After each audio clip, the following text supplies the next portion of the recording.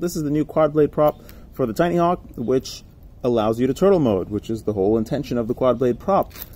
The performance change is yeah, you can't really tell a big difference. The, the, the either the tri blade is is is really well designed, or the overall balance and just way this thing flies is not really impacted so much by the prop. You don't really get any more grip or anything. And I personally, even though it's supposed to be a faster prop, the quad blade, I personally think it's even a little bit slower maybe.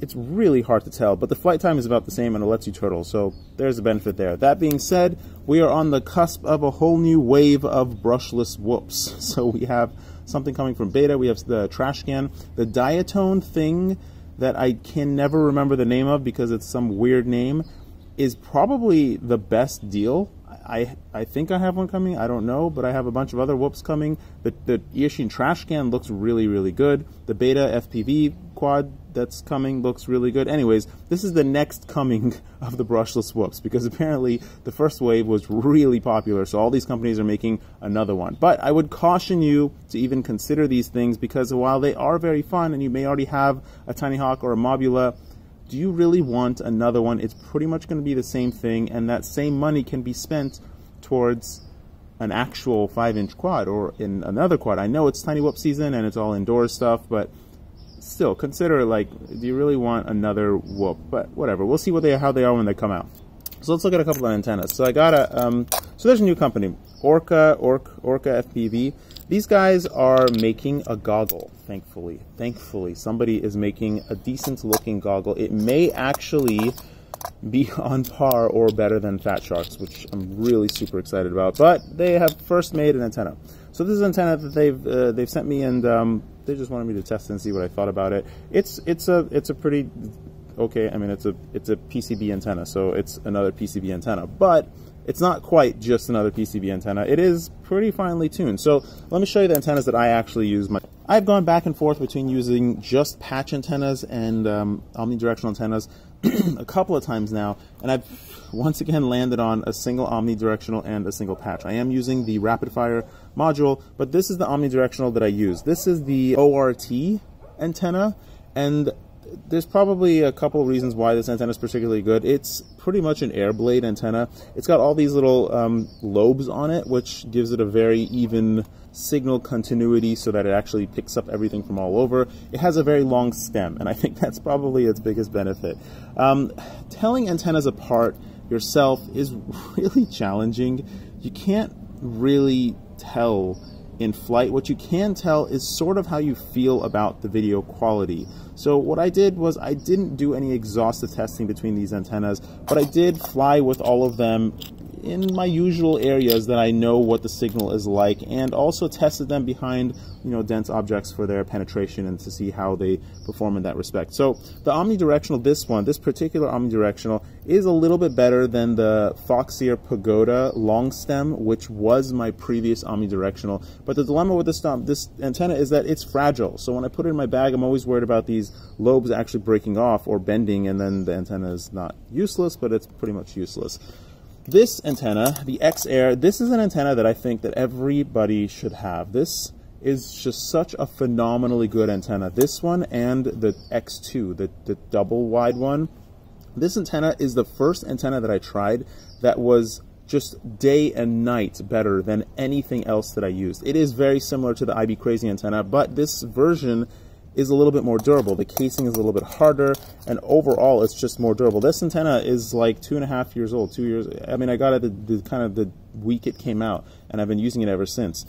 So how does this antenna stack up against these other PCB antennas? Well, the PCB antennas are obviously not as intricate of a design, and they cannot perform as well as this antenna because it is much it's a much higher end design. It's a much more expensive design more difficult to tune. It's a more expensive antenna overall. But these other antennas are some degree of usefulness. So first of all, let's look at the Foxeer antenna. This is the Foxeer antenna that comes in this little casing. I just cracked it off to see what's inside. This antenna is essentially useless, and I've cracked it off and actually tried to resolder the, the, the elements myself to try and get the improvement this antenna is it just doesn't I mean I don't even know what DBI it's claiming but it's it's essentially worse than any pagoda that I have it has it doesn't do I mean maybe it was just my testing. I don't know, but it's it's pretty much the lowest level of performance for an antenna. I think a whip antenna would be just as good. I'm sorry, Foxeer. I don't really. I'm not trying to be mean or anything, but I, that's just my findings. I, I don't think this antenna is really worth anybody's time. This is the next one, the Menace antenna. This is just just a teeny bit better than the Foxeer antenna. And I don't really understand why, because they both have very similar looking elements in the middle. I mean, all these antennas have very similar looking elements in the middle. I don't understand much about antenna stuff, so I, I mean, I definitely haven't looked into these things. But just from basic testing, of these three PCB antennas, the Orqa, Orqa, Orqa, Orqa antenna is definitely better than these two. I, I can I very clearly, very obviously say that. Now, I'm not trying to like advertise for them, prop them up, but you know, they asked me to look into it, and I was pretty impressed because this antenna performs sort of somewhat on the same level as the X-Air antenna. It is a lot cheaper, and it is a lot cheaper and lower end design as well, but it's kind of in the same ballpark. The X-Air is absolutely 100% very easy to tell that it's better, but the Orqa antenna is not all that bad. But for the price difference, I mean, I know the X-Air is like 30 bucks or something, but it is such a good antenna that it's really worth every every penny you pay for it because it's just, your video signal is just so clear and so crisp. It's just it's it really is that good of an antenna. Is it really even worth considering these PCB antennas at all? And then just go for your favorite omnidirectional, which you probably just want to get a long stem something or other, and you know you're good to go. Leave it at that. So now let's take a look at this thing. So this is the Racer 3. This is, as you may have seen on DRL, uh, this is the pink one, obviously, and I actually like, I really like this model and this color the most too. It's not just because of Wild Willie, which is an awesome pilot, and I love watching him on the show. He's probably one of the most entertaining pilots on the show to me because he's so like active and like he has just reactions to things, so it's really fun. But this is the Racer 3. It's not the newest model. The model that's actually on the show now is the Racer 3S, I believe, and I think it's the same performance, but they've just kind of improved everything. And it's. so you guys should realize that DRL is not just a media company. Yeah, they are like mostly a media company. They're just making content for channels, but they're a, a tech company to me because all of the tech that's on the show now is entirely proprietary. They developed all of it. So they started off with Crossfire and various antenna systems, but they now have an entire tech development team and they've created all of the control systems that they use as well as the video systems that they use. Obviously, I mean, they're flying through courses that are an absolute nightmare for control and video. Like, it's insane that they can even maintain control and video in this kind of an environment.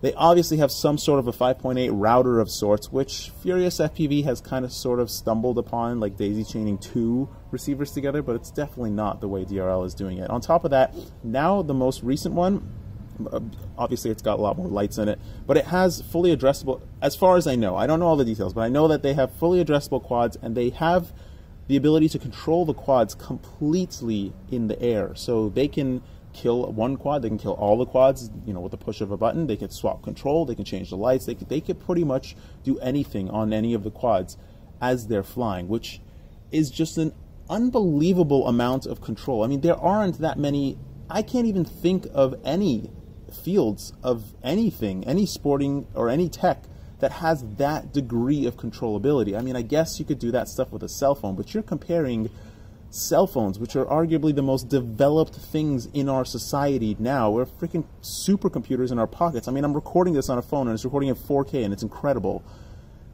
To something that's designed by like a handful of people. And the, the PhDs that are actually on their team, they say that the, the stuff that they're doing is actually the most difficult thing that they've ever done. Like, they actually have PhD developers working on this stuff. So, DRL is really is really an amazing company. There are they're not the only ones. There there are others, but they're really I'm really impressed with DRL, especially with the way that they've matured. I mean, when they started, they weren't they weren't that great, and I was just like, eh, whatever. But they've really matured quite a bit, and I really enjoyed this season. I I can't even believe that I'm saying this, but I enjoyed watching drone racing on ESPN. Okay, so the Racer 3. This is using 22.6 motors with 6-inch props, 6-inch tri-blade props. They're obviously not going for performance here or control or anything like that. This is spec racing. They don't really care about any of that stuff. However, they haven't... I if I was to design this quad, I would have made some different design choices to make it even easier to build. It is like a single monocarbon design, and it does work great. And they're using a weird, weird, weird size battery. Um, I, I mean, I would have made some other design decisions, but damn, this thing is awesome. I really wish that they would sell these things. This is the one that they sent to Andy, Doma FPV, and they, when they send these quads out to people, they actually cut all the wires so that you can't fly them, or if you wanted to fly them, you actually have to repair the damn thing. So it's really frustrating. And that's why we've had this for well over a year and nobody's even touched it. I just found it in like a drawer at Piroflip and I'm like, oh man, this is awesome. I'm going to try and fix this and actually fly because I want to see what this thing flies like. I've never flown one of these things, so it would be really fun to see. So yeah, I'm going to be repairing it and I'll tell you guys about this quad. And again, I really wish that they would sell this quad. It's so awesome to even have something that's on that show, and it's it's so popularized right now. I mean, it's like almost like modern nostalgia. This is the 7 inch Glide Floss. So we're going to go with the Glide name. And this is the 7 inch version that they just sent me one sample of. So hold on. First off, I want to say that this frame is delayed like two weeks already, and it's going to come, they tell, tell me it's going to ship from the factory on the 20th, so it should be here before Christmas. It should be here and available before Christmas. I'm going to do another video on it, obviously, and the first batch is really a prototype batch, even though it's it's complete. It comes with everything, and it's totally complete. It is a prototype batch because we do have to get some manufacturing things worked out. And I got really, really upset at the manufacturer because the last sample group of sample parts that they sent me were so awful. I mean, I have relatively high standards, but this is so below standard. I was so upset at them that they got they actually became afraid. So this is the manufacturer that cuts all of our stuff, cuts all the floss frames, all the Hyperlite frames.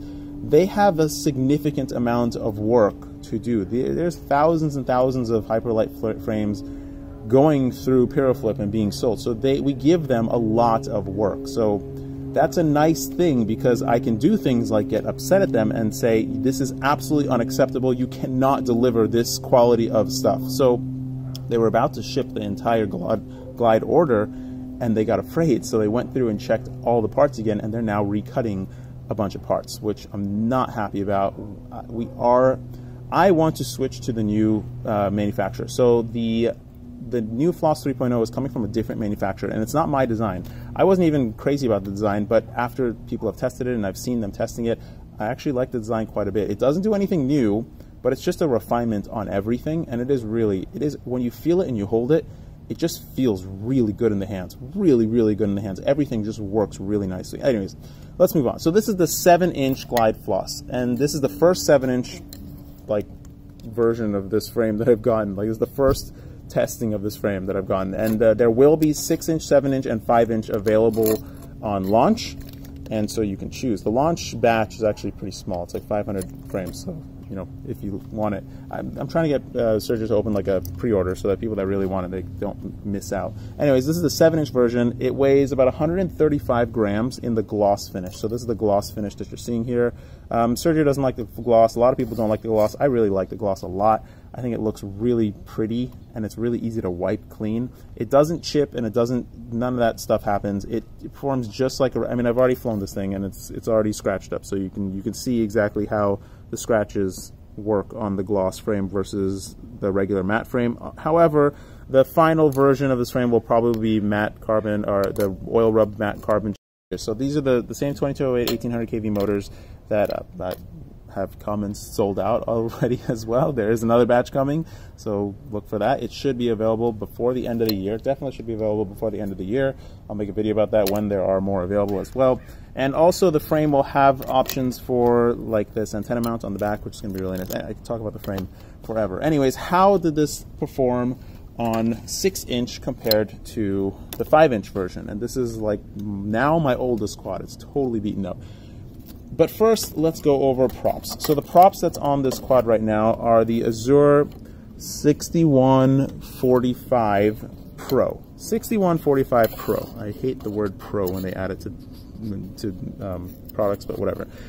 Something very, very special about this prop is the material, and that's more special than anything else about this prop. So Azure makes great props, and they've gone through like two major prop designs, and I really appreciate the fact that they don't have 50 different props that they make. But this material is the second generation of their carbon resin mix material, and it's unbelievable how stiff this prop is. It's not a thin prop. It does have some thickness to it, so it has like some material thickness, but it's amazing how stiff it is compared to the regular version, which is super not stiff compared to the carbon version. So the difference between these two props is pretty darn extreme. Like this prop, the polycarbonate version, is fine.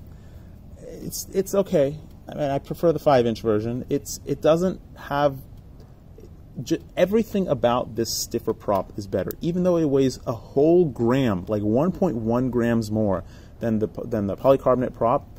It is better in every possible way. It's quieter, has more grip, more throttle authority, more accuracy. Everything about it is better. I don't know about durability. I didn't really crash it. I don't want to crash it. I only have two sets. I can't even find this prop for sale. If I can, I'll put in a link in the description below, but I can't even find it for sale. It is it is a phenomenal six inch prop. It is just amazing. It is so smooth. It is so controllable, so great. But it also isn't a perfect match for these 2208 motors. And that's what I'm going to discuss in a minute. But before that, let's discuss a couple more props and some issues with various quads. So this is the DAL quad blade prop. I went back after after flying the S3 prop again. I got excited about props, so I went back and started testing a whole bunch of props again. So this is the DAL quad blade copy of the HQ copy of the APC or some other company that made the original 5x4 blade. So everybody's copying everybody, but this is the quad blade version, and it is super flimsy. But something about quad blades is just intoxicating when you fly them. They have the best control feel in a 5-inch quad that you will feel, and there's really no tri-blade that can begin to compare. The closest prop to this quad blade prop is the HQ 5.1 by 4.1 by 3, which is really an amazing prop. But the quad blade props just feel so, when you fly a quad blade, you're just like, oh yes, I want to keep flying this prop. It's just so controllable, so great. And now they're like 99 cents too. So I'd really recommend you just pick up a set and try it. You'll like it at first, but then you'll hate it because number one, it's super amp hungry. You got one extra blade to push through the air. And number two, it's slow. It's really slow. Like just super slow. Like it, it just knocks like 30% off the top of your speed, and that's really frustrating. But the control and the grip and the way it works is amazing. It feels like a six inch quad. So I'll get to that in a minute. Just for, for giggles, I tried this prop. This is the Gemfan 3D prop that they made um, a while back. It's it's it's pretty stiff. It's it's. I mean, I, I knew it was going to be bad, but pretty much any other five inch prop works better in reverse than this prop does forward or reversed. so it's just a paddle blade. So yeah, this is this is this is this is probably probably one of the worst props in five inch I've ever felt. All right, so now let's discuss six inch versus five inch. So six inch props just naturally have more throttle authority, and you may have heard butter quad. People like to call six inch butter quad but it's something it's it's really curious why the six inch or larger blades just have this kind of super smooth feeling and effect. And there's a couple reasons behind it I personally feel, and I'm going to try to explain what we're all looking for and maybe some weird things that we shouldn't be looking for. So what do we want in a 5 inch blade? What do we even want our quads to fly like? Well, I personally want my quad to feel absolutely in control. I don't want it to do anything that I don't tell it to do, and I want it to always feel really solid in the air. I don't want it to waver, and if I give it a stick input, it's like wobbling through the air a little bit. I, get, I don't really know how else to explain it. Having that be really, really in control is what, where the software comes in. The software is getting really, really good at that. But there's also a lot of things in the physical world as well. So I want that super good control but I also want it to be super dull, I guess you could say. So I want it to not be so twitchy to my stick inputs. I want it to maintain its track and only do what I want it to do. And a lot of this comes with just knowing your quad. But I pick up some quads and I'm just like, yeah, this flies well. And other quads just, just doesn't fly well. And there's a multitude of reasons why it doesn't fly well. And getting to that, we also want excellent throttle authority throttle authority is a funny thing, and that's personally, I think, what people refer to when they say butter quad, which means, I think, good throttle authority. On a 6 inch quad, the disc loading situation, the disc area to quad weight, is so much more favorable than a 5 inch quad that if you add 100 grams, 200 grams more, it still feels really good in the air and it has excellent throttle authority. On a 5 inch quad, very often we're coming out of a dive or a hard situation and we're just revving the gas trying to see what the quad will do.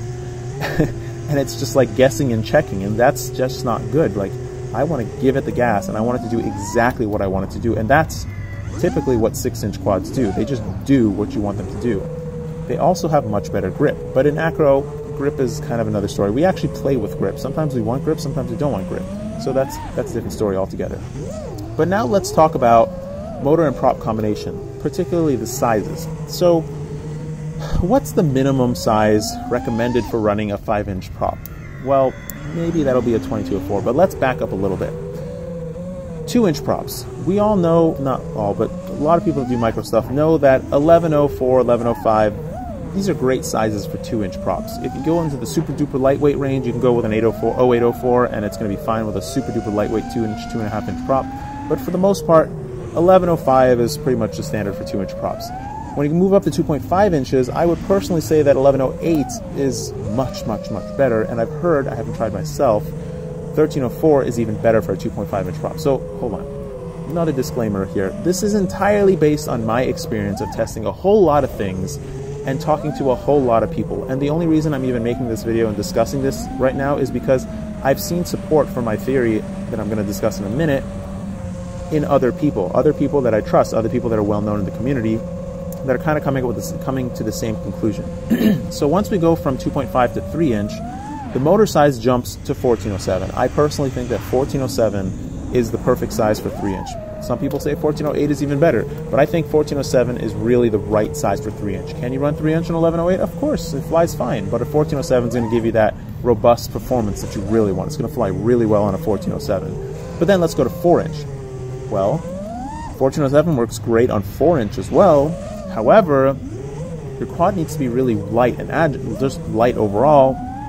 But I personally think that a 6, 1806 is going to be better on 4 inch, and maybe even a 2204 is going to be better on 4 inch. And depending on your quad setup, 2205 might even be the best on 4 inch. But now let's move up to 5 inch, and this is where it starts getting funny. So 2204 is where we start. Well, 1806 and 2204 is where we started on 5 inch. Today, the standard is pretty much 2207. How do we get there? So, Cobra actually made a 2204 that was really a 2205, and that was the most popular 2204, quote unquote, that people just didn't know was a 2205. So then we all realized, oh, hey, this is a 2205, it's not a 2204. Let's all move to 2205. That's much better. And then we went to 2206 and we're like, whoa, this is a lot more power. This is better. It's more efficient. It's more powerful. Everything is better about this. And then came the 2207. Everybody's like, okay, okay, let's forget about 2206. That's like a bastard size in the middle. It's not lightweight and it's not powerful enough. Let's go to 2207 and that's going to be amazing. And that is amazing. And so that's kind of where we landed. 2207 is pretty much this balance of motor weight and control of the prop and prop I'm going to get to that in a second. So motor weight. Motor weight definitely has an impact on the quad's performance. If you have heavy things at the end of an arm, it's obviously going to be more difficult to move that arm. So a lighter lighter motor will work better with respect to response of just general overall response. So if you have a motor that's overweight and underpowered, this is all comp more complicated than it seems. If you don't have the power to back up the weight of your motor, then it's just not going to perform very well. That being said, higher weight may mean better magnets, thicker magnets, better stator, more dense stator, all these various things. So basically, you just need a very well constructed motor to balance everything out. But 2207 is kind of where we're at. And then 2306 came, and 23 people were saying 2306 is better.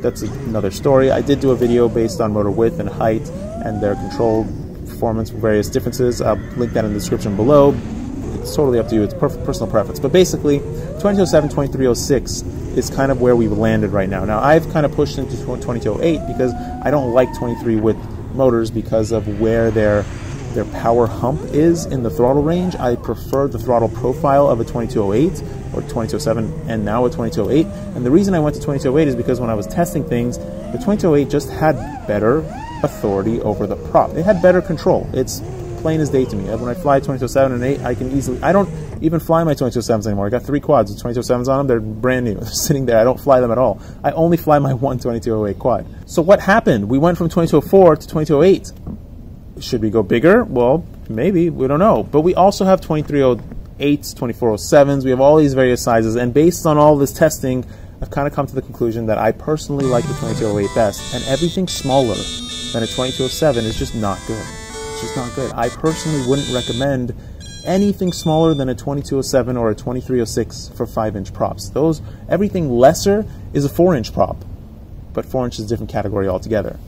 But now, what about 6 inch, 7 inch, 10 inch, 13 inch, all these other things? And so this is the this is the theory. Motor size doesn't it doesn't track with prop size. It's not a linear relationship. When you go up in prop size, the relationship between the motor size and the performance of the motor versus the prop size, it changes tremendously. And even if you have a tri-blade or a quad blade or whatever blade, doesn't matter, the prop size is more important than the number of blades that you have. So Jordan, maybe better known as Jet, has recently built a 10-inch quad. It's freaking awesome, but he also decided to use 3115 motors. That's a massive motor for a 10 inch twin blade. And let's also look at the DJI Phantom. The newest DJI Phantom actually uses a 2312, I believe. 2312 motor. Now, DJI is probably the biggest drone company in the world, and they have probably done more research in these motors than anything else. And, and absolutely, the Phantom is geared towards efficiency more than anything else. But they're running a, an almost 9 inch prop, like an 8.7 inch prop, on a 2312. That's a pretty big size motor and it's also a relatively large size prop. But how did Jordan get to 3115 for 10 inch when it's only one inch more than the Phantom running 2312s?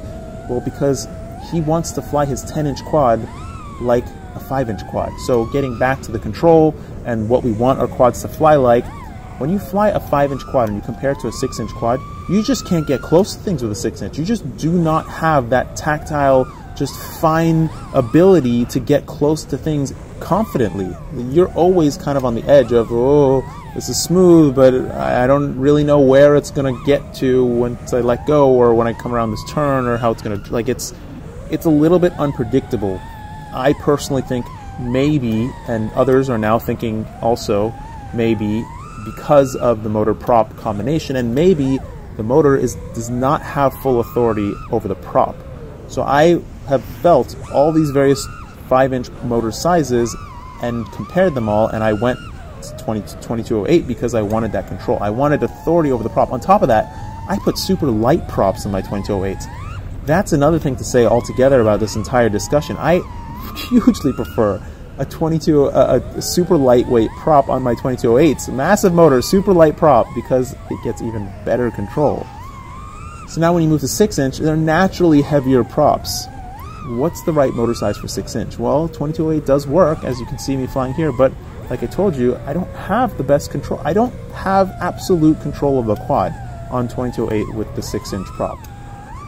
And you can tell that too. When I'm flying the 5 inch, you just you could just see it in my flying that if you can see anything in flying, you can very clearly see I have a much better handle on my 5 inch quad than I do on my 6 inch. Yes, the 6 inch has much better throttle authority. I can pull out of dives way easier. It's way like smoother to fly, but I just can't get close to anything. And I'm always just like, okay, well, I'm just gonna waft around because I can't I can't get close to things. Whereas on the 5 inch, I'm just like zipping around like mad, and I'm just like, I have absolute control. I can do anything I want. It's amazing but I also don't have the speed and the punch and the throttle authority that I want from the 6 inch quad. So, how do we get a larger prop to feel like a smaller prop? Well, the physics of this world is weird, and that probably has a whole lot to do with all of this. But we're still kind of testing things. So now that we've done so much testing of 5 inch, I'm going to start testing 6 inch and 7 inch. So I'm going to be trying 7 inch props on the 2208 as well.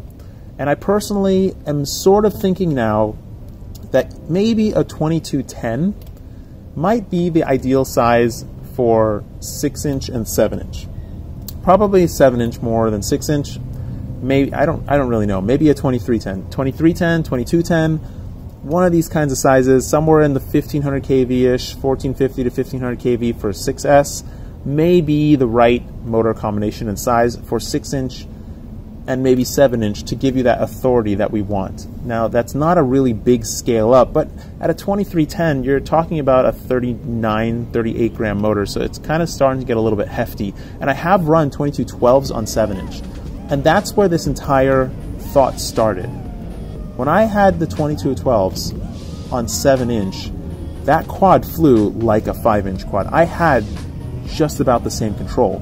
And that's what you get when you have a motor that's appropriately sized for the prop that you're running. You get that control, you get that amazing control.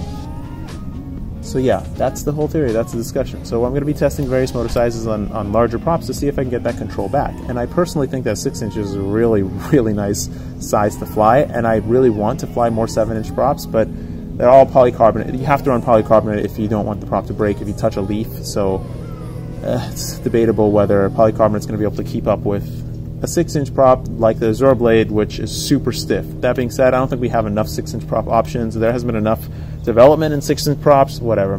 More things to come. Another thing to note so here's some actual dental advice.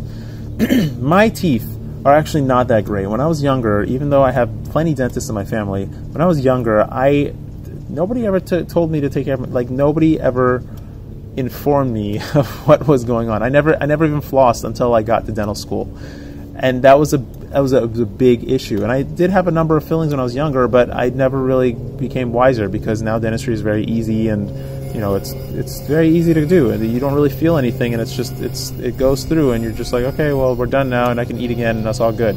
When I went to dental school, I really learned about teeth, obviously, and I learned about my own teeth, and I realized, wow, I've been really, really bad. And on top of that, my dentistry is also old and is also not that great, and I learned a whole bunch more about dentistry. Basically, when you're younger, you don't really pay so much attention to your teeth and maybe even your health.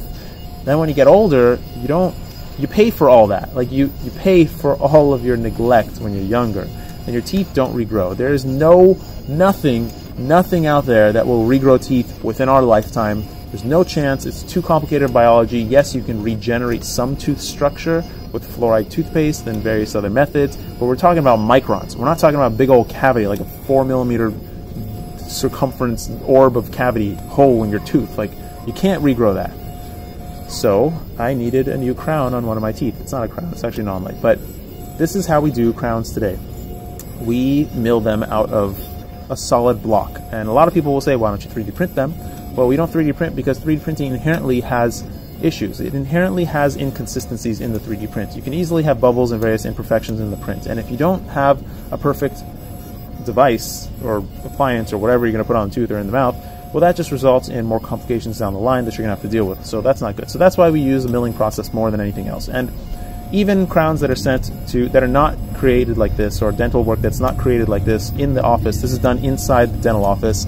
If it's sent to a lab or some other organization or entity to make the product, that you put in the patient's mouth, it is milled. It's it's almost entire, almost almost always milled from a solid block of something or other, and that's just how it's done today. Pretty interesting. This is actually a three-axis mill. You got two heads going back and forth and doing, cutting the pattern, and they're super, super, super fine diamond burrs, super fine diamond bits in there, and it's cutting at like 100 microns. Each layer is like 100 microns, or like somewhere in that vicinity depends on the machine you're using, and it's being cut in the blue state, which is called the early stage. So this material is a lithium disilicate. There's a bunch of other materials that we use. This material is cut in a relatively softer state so that you don't ruin your machine and you can actually cut it a little bit quicker. And then it's fit in the patient's mouth and it's then stained and glazed while it's in this like purpley looking color, so it's hard to tell the color. And then you cook it. You cook it in a kiln and it comes out the right color as a tooth. And then you stick it in place. And then the whole process of sticking this to the tooth is actually very complicated as well.